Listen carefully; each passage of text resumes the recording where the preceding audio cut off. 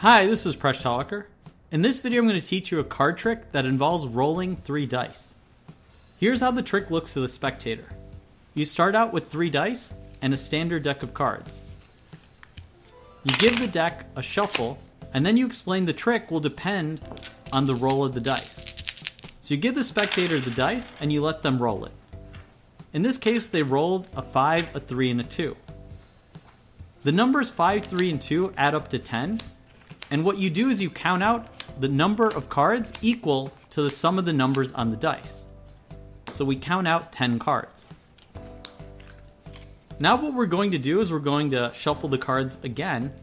We remove the middle number, which is 3, and we're going to count out 7 cards, which is the sum of the remaining dice.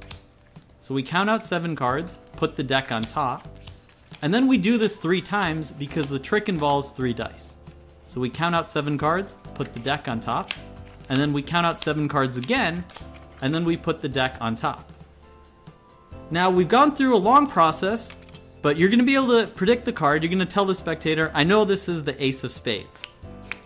So it's a pretty cool trick because there's no way you could have known what they were going to roll. There's no way you could have known what the middle number was, but still you were able to figure out what the card was on top of the pile. So let's try the trick again. We have a roll of 4, 3, and 2. So this adds up to 9. So we're going to count out 9 cards.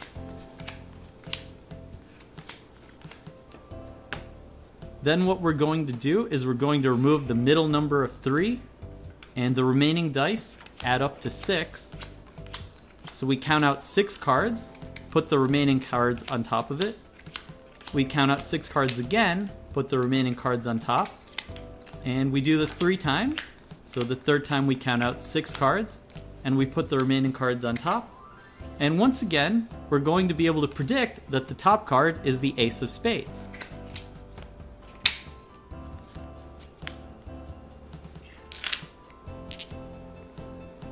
So I'll do the trick one more time, just to explain one more variation.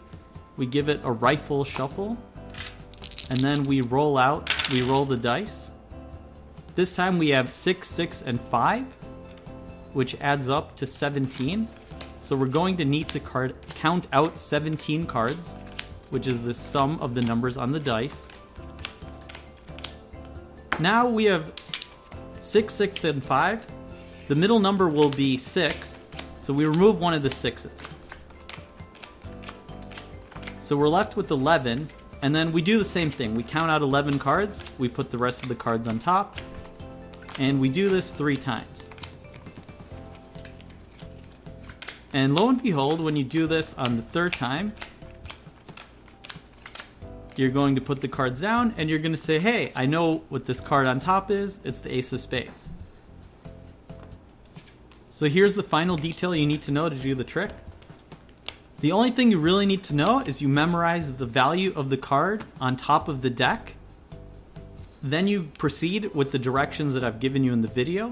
And when you're done with that process, you will always end up that the card on top will be the same as the first card in the deck that you've memorized. So this trick is mathematically complicated to explain, but trust me, it works every time. And it's pretty impressive because there's no way you could have predicted what the numbers on the dice were. I hope you like this video. Please subscribe to my channel. You can support me on Patreon, catch me on my blog Mind Your Decisions, on Twitter at Presh Talwalkar, and you can get my books listed on my website